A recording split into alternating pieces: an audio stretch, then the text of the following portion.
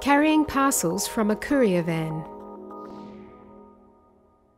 This safety snippet provides guidance for the safe lifting and carrying of parcels to and from a courier van. Before picking up the parcel, check the weight. Ensure you maintain good posture when picking up the parcel. Bend your knees and keep your back straight. Carry the parcel close to your body. Maintain good posture when putting down the parcel. Bend your knees and keep your back straight.